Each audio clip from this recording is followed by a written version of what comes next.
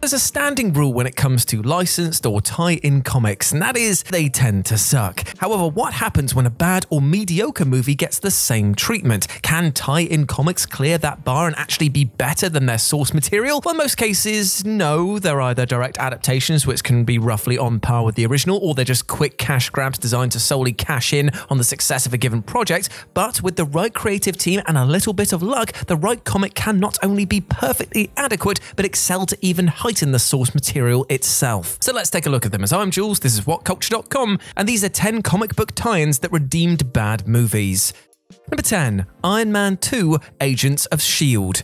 Now, it is blasphemous now to mention the rocky start the Marvel Cinematic Universe got off to, but it is true. For the longest time, Iron Man 2 was considered a legitimately bad film. Even today, it's either regarded as a necessary evil or an underappreciated masterpiece, just like everything else in the MCU. Regardless, a weak point of the film was the prominent role put on S.H.I.E.L.D. without any development being given to those agents. This three story anthology tie in focuses on the very heart of Tony Stark's relationship with S.H.I.E.L.D. as he watches them while Nick Fury assigns an agent to watch him. Then there's some Phil Coulson fun. The final story is about Black Widow infiltrating Stark Industries and ends when the film finally introduces her as Natalie Rushman.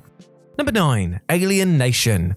Alien Nation gained a small cult status throughout the years with a television show and made for TV movies, but it was critically reviled upon release. The neo noir cop film paired a veteran detective with the first newcomer detective as they solve a homicide. Newcomers were the name given to the 3,000 aliens that landed in the Mojave Desert to escape their slavery on their planet and began integrating with humans in contemporary Los Angeles. DC Comics did a comic adaptation of the film, which was good, but the real crown jewel comes from Malibu Comics' run with with the franchise. While not directly related to the movies, they expand on the setting and the premise, continuing the themes and ideas of the show. Be it in The Alien Nation The Spartans, with a member of the Newcomer Advocacy League being asked by a newcomer to help find his missing brother, or a breed apart that starts with a new cop pairing checking out a home invasion that leads to gangland violence. The comics retroactively expand on the universe, adding a level of understanding to the film that was actually sorely missing.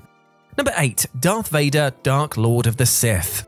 A mindless mix of action, bland writing, and unsatisfying leaps in canon that feigned a character study of Anakin Skywalker and his fall to the dark side, the prequels have only gotten more infamous with age. If anything were to redeem them, however, even just a little bit, then it would be Darth Vader, Dark Lord of the Sith. The book picks up moments after the no heard round the world at the end of Revenge of the Sith and depicts Vader's rise to becoming the menacing villain of the original trilogy. The series as a whole allows for Anakin to begin begins shedding his Jedi ways and taking the painful journey into becoming a Sith Lord. One plot that exemplifies this is his need to create a red lightsaber, which means killing a Jedi and taking his to ruin it with the dark side of the Force. The character development is deep and it uses the prequels as a foundation to build from. It may not outright redeem the prequels from being bad films, but more than allows for them to feel like necessary steps to get the villain that we see in the original trilogy. Number 7. Ghostbusters Answer the Call.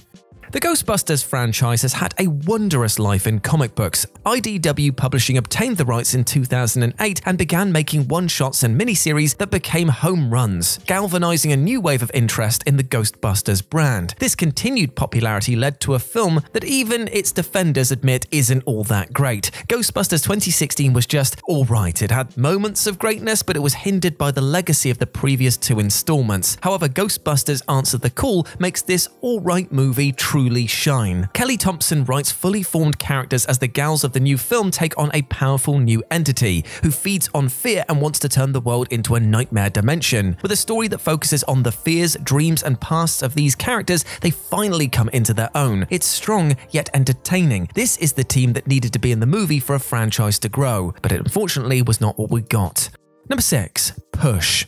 No one may actually remember the movie Push. Chris Evans and Dakota Fanning starred in this 2009 unique take on the superhero genre, tying all the powers into physical abilities. Critics tore this film apart for its lackluster story, and audiences gave it a half hearted shrug for its mindless action. The problem with the film was that it wanted to be a franchise, so the world wasn't fleshed out enough to sink their teeth into. But this is where the prequel comics come in to save the day. The six issue prequel series came out during the build up to the film's release, and it it was the story that Push needed to actually be. It had a central story about Agent Ezra Lowe and his colleagues at the Division, the psychic policing agency, as a mission goes wrong. It doesn't just dump exposition as the film does, but it rather tells the audience by showing the world. It's almost necessary reading to be able to enjoy the film on anything more than just being a random action set piece.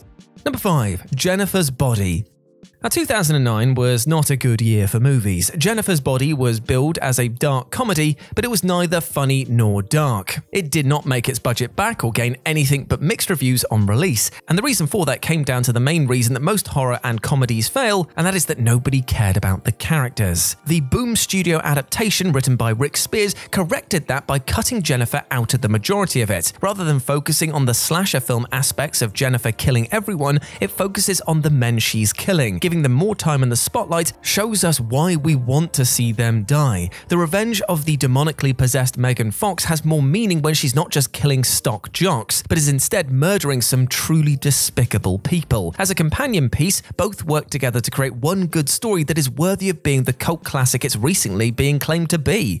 Number 4. Beyond the Black Hole the Black Hole is one of the few forgotten Disney movies. Coming out in 1979, this science fiction film was about the spaceship the Palomino, finding a lost ship, the Cygnus, on the event horizon of a black hole. Once on board, the sole occupant, Dr. Reinhardt, and his robotic crew are hospitable, but there's an uneasiness about the whole thing. Then we get the disaster movie section where a meteor storm knocks out the null gravity field, keeping the Cygnus near the black hole, and only a handful escape into the black hole, which after a trippy 1 or 2001 1B scene, they emerge from a white hole. What worked against this film, besides coming out at the same time as the first Star Trek movie and having to follow Star Wars two years prior, was its pacing. The plot could have worked well if the script was not focused on explaining everything in monotone exposition dumps, but where expository dialogue failed on the big screen, it proved to be a success in the comic. By taking two of the six issues to adapt the film, the flaws were hammered out and the rest of the series acted as a sequel without having the problems that came with Disney during the 1970s. 70s.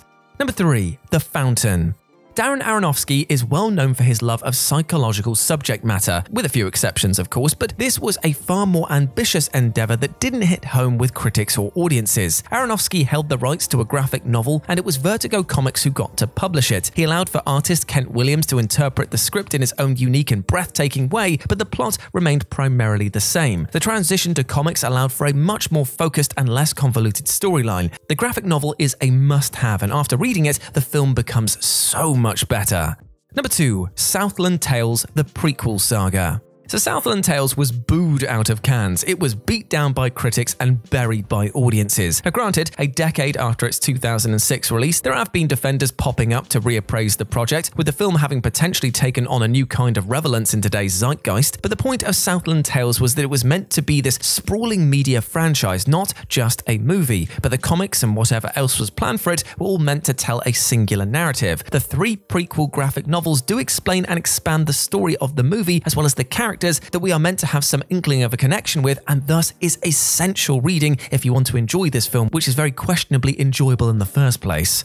And number one, Star Trek Countdown. The 2009 Star Trek film was a shock to old school fans of Trek, a more action oriented affair in line with director J.J. Abrams' future outing for the Star Wars franchise. It was a massive hit with critics and audiences alike. It rewrote the timeline of all known Star Trek canon by simply starting out on a time travel story and focused on these characters based off of the for want of a nail cascade effect. The comic is a prequel to that story, building on the weakest part of the film, which is actually the villain, Nero. Star Trek Countdown is not a prequel to the 2009 movie in a conventional sense, but rather acts as a prologue to the full story that creates the Kelvin timeline. The downfall of Nero is tragic and heartbreaking because he was the idealist, agreeing with the Federation and trying to get his fellow Romulans to listen to him about the upcoming celestial disaster. That failure to his people and some other massive problems shift him to the antagonist role and builds him to being on par with Khan. Seriously, this comic is that good. It's the build up and the history that makes this the redeeming factor that was the massive failure of the Star Trek 2009 project. There's also a large amount of extended cameos from the Star Trek The Next Generation crew, and we learn that parts of the time traveling ship are Borg tech, adding a further depth to one of the film's most underdeveloped elements. And there we go, my friends. Those were 10 comic book tie ins that redeemed bad movies. I hope that you enjoyed that, and please let me know what you thought about it down in the comment section below. You can go follow me over on Twitter at RetroJ with a zero, or you can swing by Live and Let's Dice where I do all of my streaming outside of work, and I'd love to see you over there. As always, I've been Jules. You have been awesome. Never forget that,